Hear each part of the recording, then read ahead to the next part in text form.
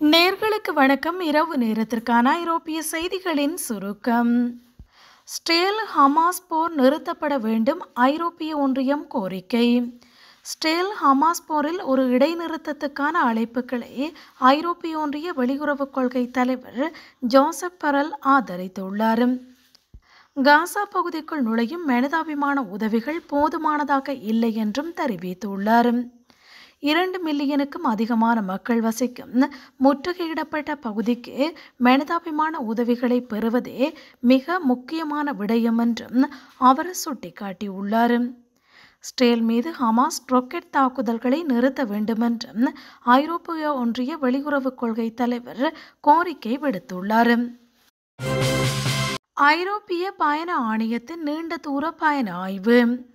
ஆஸ்திரேலியர்கள் மற்றும் கனேடியர்கள் பிரான்ஸ் மற்றும் இத்தாலியினை தங்களின் முதன்மையான இடங்களாக தெரிவு செய்துள்ளனர். ஐரோப்பிய பயண ஆணையத்தின் சமீபத்திய நீண்ட தூர பயண ஆய்வின்படி இந்த தகவல் வெளியிடப்பட்டுள்ளது. ஆஸ்திரேலியா பிரேசில் கனடா சீனா ஜப்பான் மற்றும் அமெரிக்கா உள்ளிட்ட ஆறு சிறந்த இடங்களில் நடாத்தப்பட்ட ஆயிரம் ஆன்லைன் நேர்காணல்கள் மூலம் நீண்ட தூர பயணிகளின் நோக்கங்களை மதிப்பீடு செய்கிறது. ஐரோப்பாவில் நீண்ட காலம் தங்க விருப்பம் தெரிவித்த ஆஸ்திரேலிய பதிலளித்தவர்களில் முப்பத்தி எட்டு சதவீதம் பேர் பிரான்ஸை தேர்ந்தெடுத்தனர். இருபத்தேழு சதவீதம் பேர் இத்தாலியை தேர்ந்தெடுத்தனர். உக்ரைனிலிருந்து கொண்டு செல்லப்பட்ட தங்க நகைகள் பறிமுதல் உக்ரைனிலிருந்து கொண்டு செல்லப்பட்ட லட்சக்கணக்கான மதிப்புள்ள பழங்கால தங்க நகைகள் பறிமுதல் செய்யப்பட்டுள்ளதாக ஸ்பெயின் போலீசார் தெரிவித்துள்ளனர்.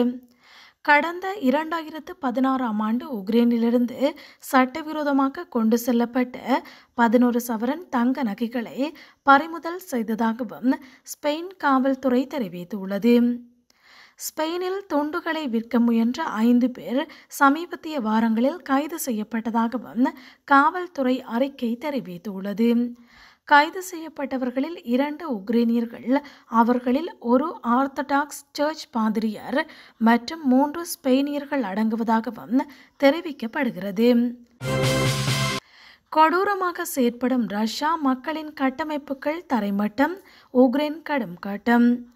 ரஷ்யா இரண்டாம் உலகப் போருக்கு பிறகு மிகவும் கொடூரமான செயற்பாட்டில் ஈடுபட்டு வருவதாக உக்ரைனின் வெளியுறவு அமைச்சர் டிமிட்ரி குலேபா தெரிவித்துள்ளார்.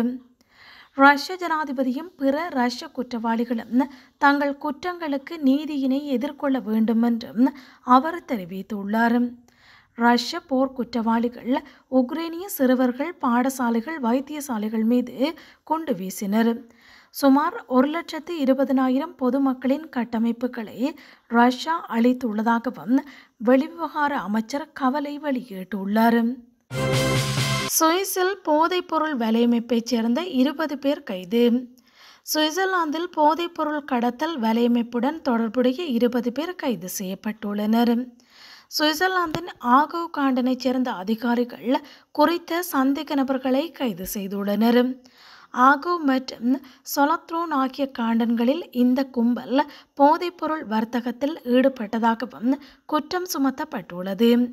நீதிமன்றில் இந்த குற்றச்சாட்டுக்கள் நிரூபிக்கப்பட்டால் கடுமையான தண்டனை விதிக்கப்படலாம் என்றும் அறிவிக்கப்பட்டுள்ளது. பிரான்ஸ் நாட்டு விமானி ஒருவர் அமெரிக்காவில் உயிரிழப்பு. பிரான்ஸ் நாட்டு விமானி ஒருவர் அமெரிக்காவில் ஆயிரம் அடி உயரத்திலிருந்து விழுந்து உயிரிழந்துள்ளார். பிரான்ஸ் நாட்டு விமானப்படை விமானியான டொம் ஜேபியர் அமெரிக்காவில் மலையேற்றத்துக்கு சென்றுள்ளார். குறித்த விமானி கடந்த செவ்வாயன்று மாயமான நிலையில் த நோஷ் எனுமிடத்தில் ஒருவர் அசைவின்றி கிடப்பதை ஹெலிகாப்டரில் சென்ற மீட்புக் குழு கண்டறிந்துள்ளது.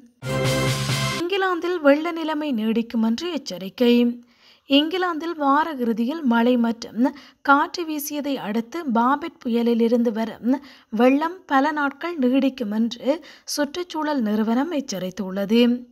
கிழக்கு மிட்லாண்டாஸ் எனும் செவ்ரன் நதி உட்பட இங்கிலாந்து முழுவதும் நூற்று எட்டு வெள்ள எச்சரிக்கைகள் காணப்படுகிறது. வெள்ளத்தில் சிக்கி நான்கு பேர் பலியாகி உள்ள நிலையில் நூற்றுக்கணக்கான வீடுகளில் வசிப்பவர்கள் வெளியேற்றப்பட்டுள்ளனர். திங்களன்று ஸ்கொட்லாந்தின் முதல் மந்திரி ஹம்சா யூசுப் மிகவும் மோசமாக பாதிக்கப்பட்ட பகுதிகளில் ஒன்றான ஆங்கஸில் உள்ள பிரெக்ஷனுக்கு விஜயம் செய்துள்ளார். லவுடன் விமான நிலையத்தில் ஏற்பட்ட தீ விபத்து தொடர்பாக ஒருவர் கைது. பிரித்தானியாவின் லோட்டன் விமான நிலையத்தில் கார் நிறுத்துமிடத்தில் ஏற்பட்ட பாரிய தீ விபத்து தொடர்பில் ஒருவர் கைது செய்யப்பட்டுள்ளார். முப்பது வயதை உடைய சந்தேக நபரே கைது செய்யப்பட்டுள்ளார். இதுவரை மேற்கொள்ளப்பட்ட விசாரணைகள் வாகன கோளாறு காரணமாக தற்செயலாக தீப்பிடித்ததாக கூறுகின்றன.